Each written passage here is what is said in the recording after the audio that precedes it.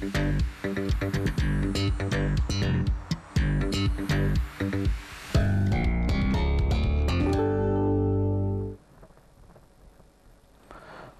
бет қарған аязды ауа райы сақталып тұр. Кәріне мінген сашнақ аяздың қарамастан елорда көшелерін қардан тазалаушы жұмысшыларға жастар ыстық шай ұсынды деп жазады Айқын газетінде. Белсенді жастар таңертең, таңертеңнен шағын автобуспен қала үшін аралап, жұмыс істеп жатқан қызметкерлерге тіске басар ұсынып, оларды шайға шақырып отырған.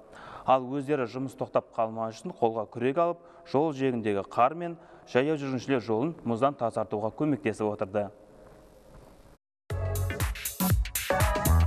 Былтыр жастар жаңа жыл мерекесі кезінде өзгелер демалып жатқанда жұмысы тоқтамайтын коммуналдық сала қызметкерлерінің жұмысына алғыс айту мақсатында осы акцияны бастап еді. Кейінірек еліміздің жастары қосылып, әр аймақта ыстық шай беру шаралары көбейді. Әсіресе Астана, Ақмола, Солтүстік Қазақстан, Шығыс Қазақстан секілді қысы қатты аймақтарда аяз кезінде бір топ жас көшелерге шығып, өзгелерге көмектескені қуантады. Күрең қою шайдан бөлек қазаққа ет жақын екені белгілі. Жесең тісіңе, жемесең түсіңе кіретін етке бүгінде шетелдіктердің тарапынан сұраныс көп. Әсіресе Сауд Арабиясы мен Вьетнам елдерінен қызығушылық танытып отыр.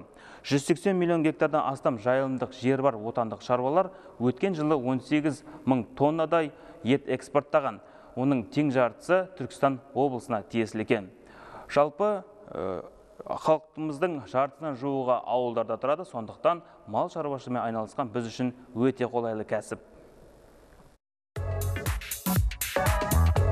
Жыл өте берекелі астықты болды. 22 бүтін оннан 8 миллион тонна астық жиналды. Экспорт былтырға қарағанда 34 пайызға ұлғайды. Ет экспортын өткен жылы уәде еткендей 5 мың тоннадан 18 мың тоннаға жеткіздік. Келесі жылы 30 мың тоннаға жеткіземіз деп отырмыз. Сондықтан осы жыл ауыл шаруашылығы саласына өте берекелі әрі табысты жыл болады деп ойлаймыз. Алдағы уақытта еліміздің 2017-2021 жылдарға арналған агроөнеркәсіп кешенін дамытудың мемлекеттік бағдарламасы өзгертілмек. Ет экспортын 2 миллиард 600 миллион долларға дейін жеткізуге еліміздің барлық мүмкіндіктері бар. Тағам тақырыбын жалғай отырсақ қазақстанда тамақ өнімдерін тұтынудың нормаларына сәйкес есептелген ең төменгі күнкөріс шегінің көлемі 26440 теңгені құрады деп жазады айқын газетінде.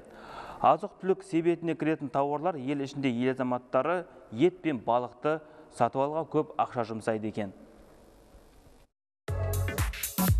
Халықтың жан басына шаққандағы орташа көлемі сыртында.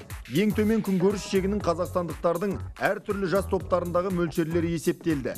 Ол бойынша бұл көрсеткіш 0-ден 13 жастағы балалар арасында 21330 теңгеге 14 пен 17 жастағы жасөспірімдер арасында жас жігіттер үшін 33444 теңгеге ал қыздар үшін 25628 теңгеге тең. 18 жастан асқан еңбекке қабілетті ересек халық арасында ең төмен күнкөріс шегі жасөспірімдерге қарағанда аз.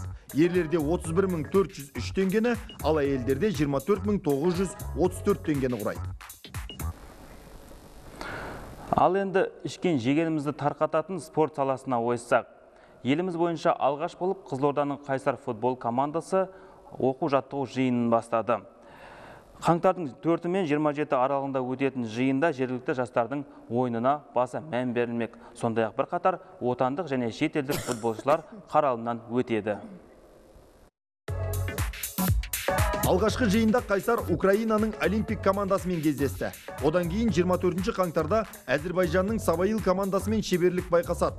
Бұдан бұрын қайсар командасының бас бапкері стойчо младенов биыл да қызметін жалғастыратынын хабарлаған едік. Сырбойылық ұжым 2019 жылы жүлделі орынның біріне ілігу мақсатын көздеп отыр.